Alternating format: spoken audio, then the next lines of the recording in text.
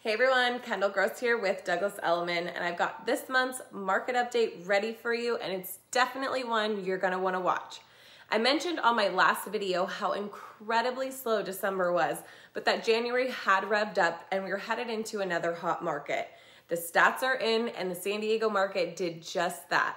New listings and pending home sales doubled last month from the incredibly low numbers that we saw in December. The median home value across San Diego County remained about the same, but I do believe you will see a slight tick up in appreciation next month when our current pending sales close out. Inventory is still low, but buyer demand is up, which is what is driving the market to heat up again. Analysts are unsure of what to expect in the months to come.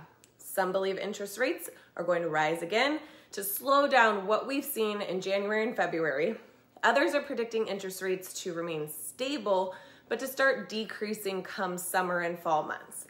Just like I've always said, there's no way to predict what's going to happen in the months to come. The only thing we know for sure is what is happening today.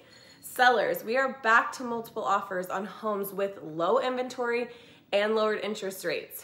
If you've been trying to time the market perfectly, stop. It's your time to jump in.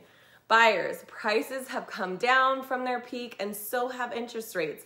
We're not sure how long this is going to last. Waiting will either get you a higher price or a higher interest rate, so stop waiting. As always, I'm here and I'm ready to answer all of your real estate questions and would love to chat with anyone you know who's interested in the San Diego or California market. Call, text, or email me today, and I'll see you next month for another update on the San Diego market.